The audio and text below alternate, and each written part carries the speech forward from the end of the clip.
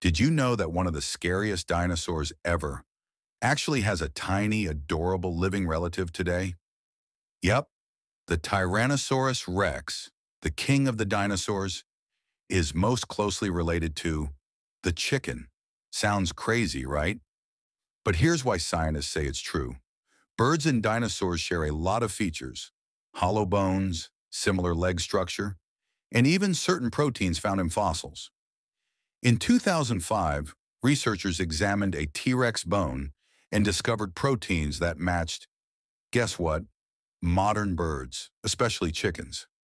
It turns out birds are actually considered modern-day dinosaurs, and chickens are just distant, feathered cousins of the T-Rex. So the next time you see a chicken running around, remember, you're looking at a tiny version of a prehistoric beast. Scary or cute? You decide.